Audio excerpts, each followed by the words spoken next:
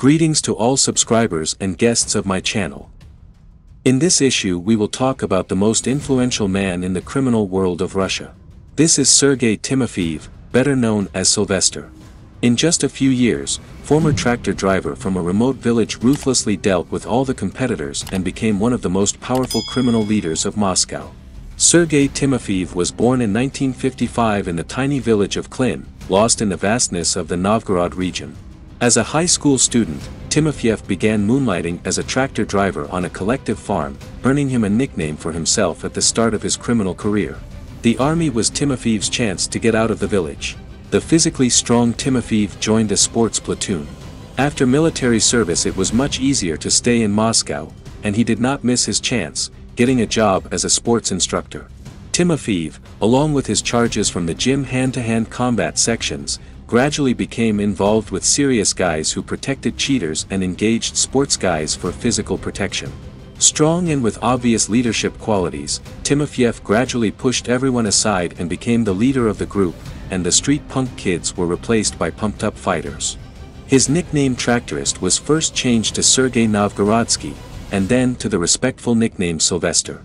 In honor of the popular Hollywood action movie actor. In the late 80s, private business was allowed in the USSR. Timofeev's gang at first took over all the illegal business in the area, all the prostitutes, cheats, thieves, and similar crowd paid a percentage to Sylvester. Then came the turn of restaurants, car service stations, market vendors, and stores. By the end of 1988 from a gang Timofeev sportsmen finally formed Orkhovsky a criminal group, which was to become one of the most powerful gangs in Moscow. Timofeev's criminal career was nearly interrupted at its very height. In 1989 he was arrested on charges of extorting money from a cooperator. Sylvester was facing a heavy sentence, but he managed to get out of trouble relatively easily. After serving two years in an investigative isolator, he was released. By that time, much had changed. The USSR had fallen apart, the last restrictions had been lifted, all borders were opened, and the era of wild capitalism had dawned. In the early 90s, Russia was experiencing a banking boom. Sylvester decided that there was no point in wasting time and effort on small cooperators, and he had to play big. So banks became the leader's new target. By the end of 1993, Timofeev took control of the Moscow Merchant Bank, placing his new wife at the head of the organization. It was used to move money almost overtly abroad. The bank received loans from larger banks and, through a chain of shell companies, transferred them to the accounts of foreign firms set up by Sylvester's wards. According to rough estimates, this scheme took out several tens of billions of undenominated rubles. Sylvester was a very strict leader of his criminal group. If any member of his gang was guilty or misbehaved so that the entire criminal group was in danger, that member of the gang was punished severely in front of his team, up to and including murder. Timofeev's characteristic feature was that he was not attracted to the criminal romance. Sylvester did not rely on criminals, but on athletes and former members of the security forces.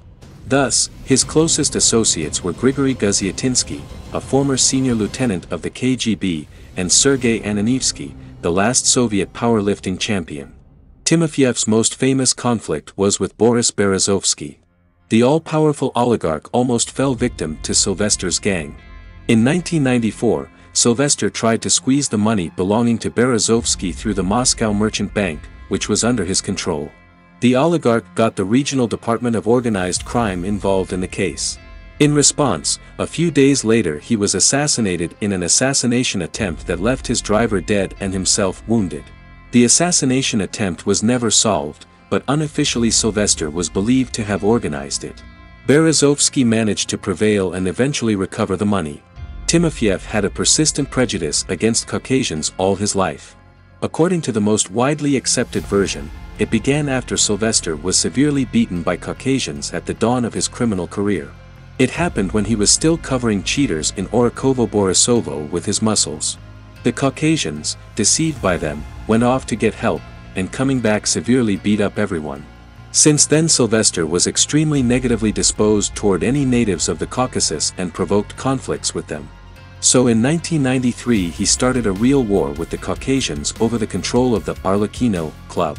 For Timofeev, who by that time already had solid assets, this club was a drop in the ocean, but he went on principle.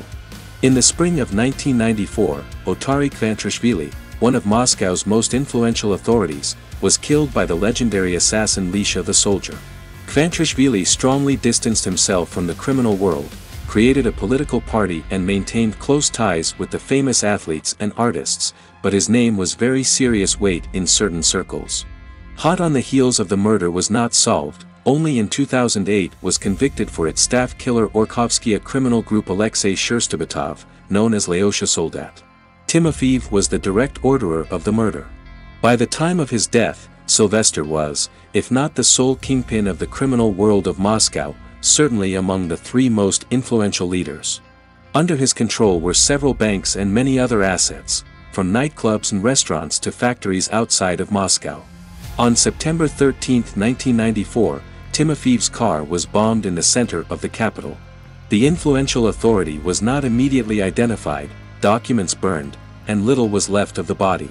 The only way to establish his identity was to contact an American dentist who treated Sylvester during his recent trip to the United States. The list of those who wanted to get even with Timofeev was so great that the investigation did not even have a clue. All the Caucasian criminal gangs and many Moscow gangs wanted to get rid of him. Sylvester crossed a lot of people's paths. In 2011, his former bodyguard told investigators that Sylvester's murder was organized by Butorin.